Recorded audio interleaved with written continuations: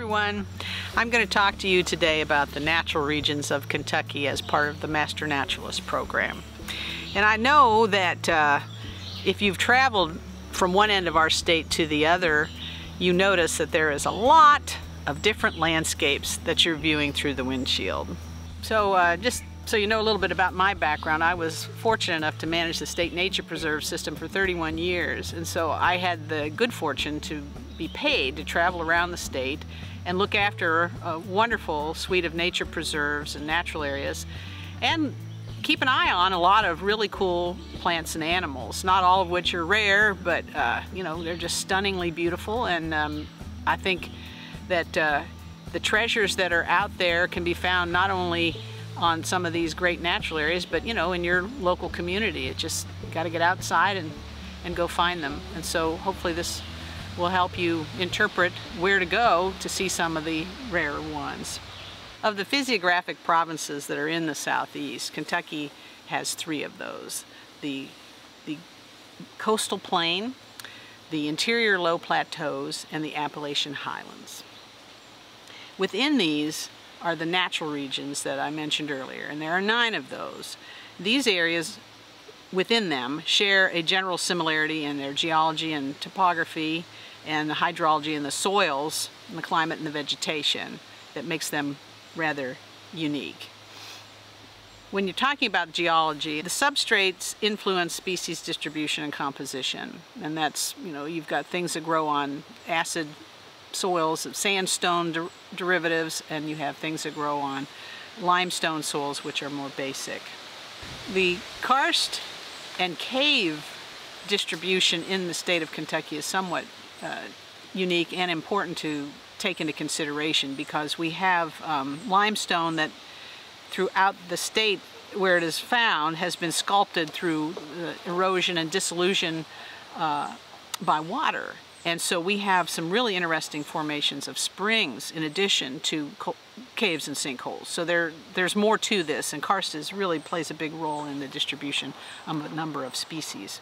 The lack of surface water means that species have to adapt to other uh, means of survival. And topography is really critical as well. We have mountains in the southeastern part of the state, and we have low wetlands in the western part of the state. So looking at the topography, you're going to have a, an influence on species distribution from that as well. And rainfall has a, a, key role to play in how plants are distributed in this in this state as well. Or snow, if you want to think about the top of Black Mountain. The uh, amount of snowfall there uh, is is unrivaled in the state.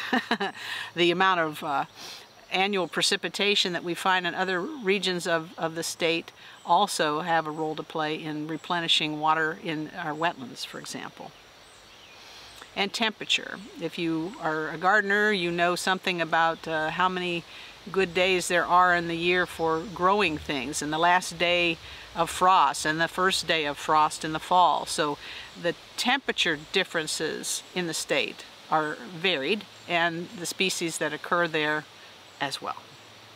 So we're giving you all these definitions, and another one to throw at you is natural communities. And that are, uh, is defined basically as distinct groups of plants and animals that repeat across the landscape in a, in a recognizable pattern.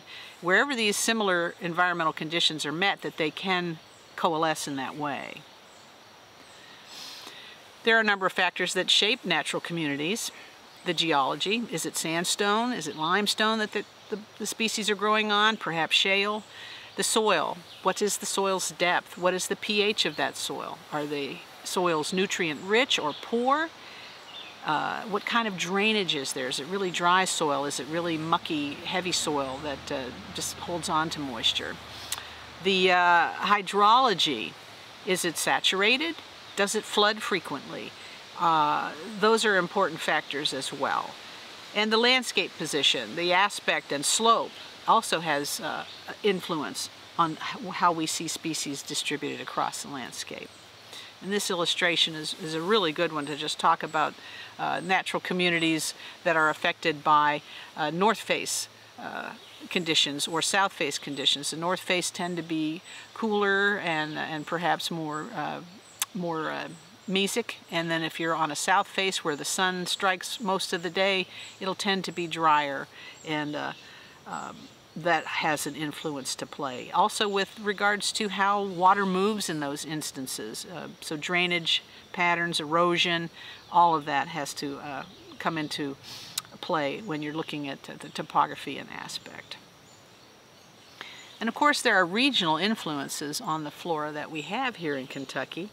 And um, the uh, northern temperate forest uh, is recognized as well as the Midwestern prairie, the coastal plain, and uh, the Appalachian Mountains have all had an influence on species movement into the state and establishment.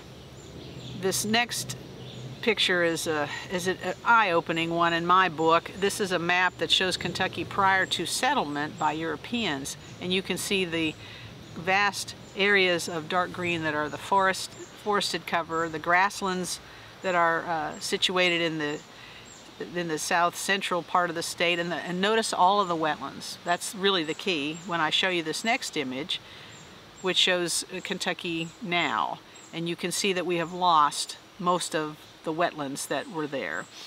1% uh, of uh, grasslands are still found in the state, just 1% or even less to be honest with you. And we have lost about 80% or more of the wetlands that were in this state. And so that has had a drastic uh, impact on what is still here to see in a natural state.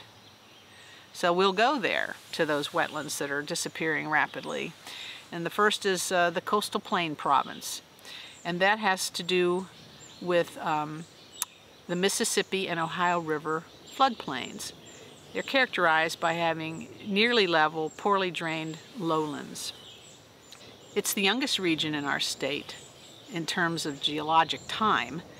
The ocean covered this area as recently as 70 million years ago. I know that seems like a long time ago, but when you consider how old the planet is, it's really kind of a blink of an eye. The East Gulf coastal plain is uh, characterized by seeps and uh, sphagnum, which is just uh, very acidic. And there are species of plants that are found there that you wouldn't find uh, in other locations, again because of saturated soils and distribution of these species on the landscape, including uh, uh, cottonmouth snakes, which really seem to like the the hills and bluffs above these, uh, these wetlands in the Gulf Coastal Plain. The interior low plateaus province has uh, the majority of the, the uh, natural regions that uh, we're going to talk about today. That is uh, a lot of habitat that is bluffs and, and plateaus. They are, most, of, most of this land is um, hilly or rolling. And so that's kind of a characteristic of the interior low plateaus province. We're still dealing with some floodplains here within this uh, province, and these are the ones that are along the Ohio River and up to Owensboro. These are bottomland forest community types. They're found on flat bottomlands joining large streams or rivers such as the Ohio River. The herbaceous layer is hydrophytic vegetation, which means that it's uh, very much uh, saturated. Um, a lot of forbs and sedges uh, in, in this kind of habitat. The soil is poorly drained and the water table is above or at the surface much of the year. The Shawnee Hills is a very fascinating part of the state. The uh, age of the sandstone is Pennsylvanian and it's massive and so there are a lot of bluffs that characterize portions of this region. A common natural community type found within this is the uh, acidic xeric forest or woodland. And there are a number of species that are common to the canopy and a lot of times because it's so dry in these settings with the soil almost non-existent or very close to the surface uh, with the bedrock that you have um, species that can really withstand some punishment in regards to uh, moisture and nutrients. So chestnut oaks, post oak, blackjack oak, species like that that can really uh, tolerate those kind of conditions are, are most common. And then uh, you'll find uh, things like poverty grass, um, a lot of lichens and moss that grow on these sandstone rocks. Uh, again, it, it's a place where you can find glades. In this instance, they would be sandstone glades. And the example that we have here is the sandstone glade for the Shawnee Hills. And you can see that there are uh, a lot of lichens in this picture. There's a lot of rock outcropping, uh, minimal soil, and where there is soil, you'll see that the grasses have gotten themselves established. And many times in these situations, the grasses are just annual grasses that really um, just come up and uh, and flower and seed and and, and die back. It, there's really it'd be really hard to sustain a perennial root system in these very thin soils with such dry conditions as are found in these sandstone glades. The Highland Rim is the next natural region that we're going to talk about and um, this is where the big prairie remnants are, are located in the state.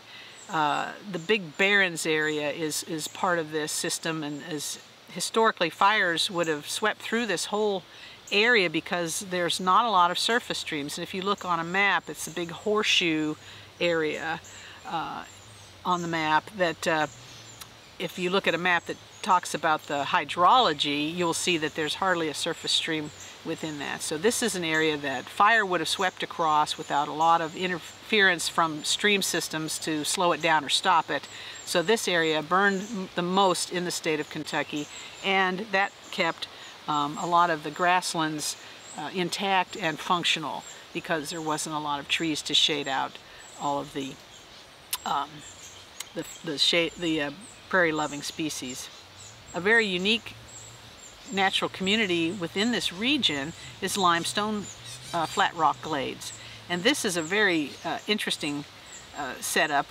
There's a place we have uh, protected down in Simpson County that has uh, just basically a limestone pavement and within that there are soil pockets that have very very rare species in them including the uh, necklace glade cress shown here as the white flower and the the beautiful little magenta flower, which is called flower of an hour. It opens up for a brief period of time every day, and then uh, the flower petals close back up. And these species, again, just live in these little soil pockets where there's a lot of uh, really harsh conditions to grow in. It's, it's saturated in the winter and then baked dry in the summertime. The next region is the knobs and this is a very distinctive area in our state if you're traveling out of the bluegrass region you have to go through the knobs in uh, any direction but north so uh, this is a distinctive region. The the hills are somewhat conical in uh, in shape. Uh, there's ridge systems that intervene between these cones that you see. Um, it's it's a very distinct region and um, the, the the fact that the area has had gone through such erosion, uh, it, it's made those distinctive cones or little, little, volcano hills, if you will, that you see. And it was uh, basically from stream erosion. This was a flat plateau, and through the force of, of water eroding all of this, the uh, resistant sandstone cap rock that's still present at the top of the cone uh, wore away at a different uh, rate than the underlying shales and, uh, and siltstones and, and uh, rocks that could not resist the erosion uh, forces. And so it, it shows very plainly these conical shapes all across the region and it just looks like little uh, sentinels uh, encircling the bluegrass region. The typical community type that you would see in the knobs is more of an oak pine community. the oak species uh, again tend to be the ones that can withstand the drier conditions on ridges and, and, uh, and uh, rocky slopes. And, uh, and the Virginia pine is the, is the predominant pine in many of these systems. There are, however, some beautiful mesic forests represented in the north-facing slopes and coves of the, of the Knobs region. And uh, one of those is at uh, Vernon Douglas State Nature Preserve near Elizabethtown and if you ever have a chance it's a it's a beautiful place to go and, and see really massive uh, old growth trees. So that leaves us the bluegrass region and that is uh, level lands to gently rolling to uh, the entrenched lined rivers uh, and streams that we see. Uh, the, the, uh, the tributaries to the Kentucky River have cut down through um, the, uh, the bedrock and, and make these amazing uh, little gorges along the, the, the, stretch of the Kentucky River Palisades. The area has uh, some of the richest soils and has been uh, settled the longest. So we have the least uh, good examples in this region of the state just because there's been so much disturbance for so very long with settlement by Europeans.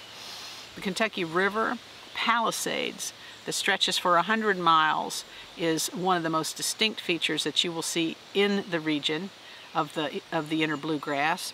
And um, in, a, in many instances, it is the last area that has been developed because it's so rugged and rough and, and rocky with the cliffs that some places here have some of the only intact forests that you'll find for the inner bluegrass of any extent. The oldest bedrock in the state is also exposed here in the Palisades region. The Ordovician limestones are 450 million years in age, and they're found basically uh, at the at the waterline uh, in, in the Palisades. There are a number of interesting community types, but a common one that's very rich and that most people go hiking in is the calcareous mesophytic forest. And that is characterized by ashes and oaks and sugar maple with buckeye bitternut uh, hickories, black walnuts as well, and a rich uh, flora on the forest floor, which is what really appeals to so many people in the springtime in this part of the state. You can see a wide variety of beautiful spring wildflowers. The outer bluegrass region is uh, bumps into the knobs, and it is underlain by Ordovician and Silurian age limestones and uh, there is a little bit more moderate relief than the, the rolling uh, to level areas that you see in um, the inner bluegrass region.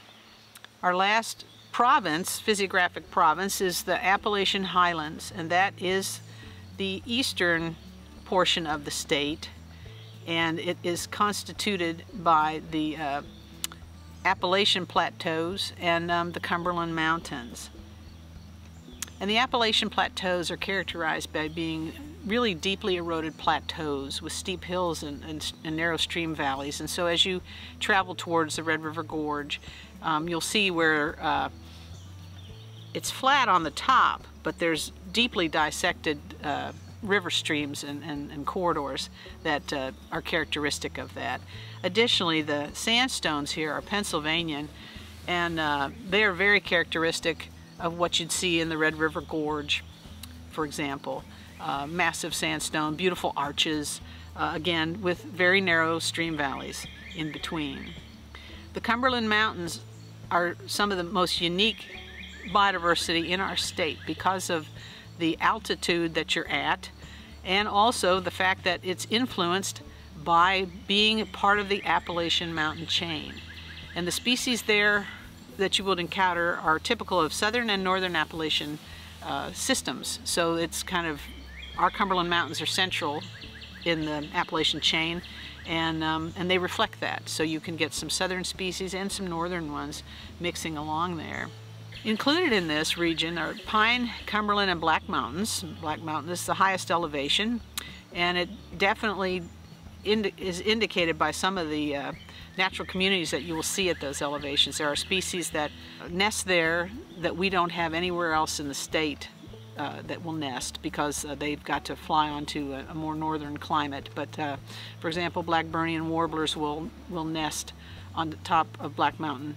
Uh, otherwise, you won't find them nesting. They pass through our state during migration, but they don't, they don't nest here. But conditions are met on the top of this mountain. And it definitely serves as a migration corridor uh, the backbone of these mountains provides good flying conditions and uh, I've been up there viewing uh, hawks during migration and lo and behold here comes a monarch butterfly. So it's, it's used by uh, flying creatures as well as earthbound. Uh, the elk and the bear that have uh, moved through our state are they move along that, that mountain chain. So it's, it's a great corridor for species movement.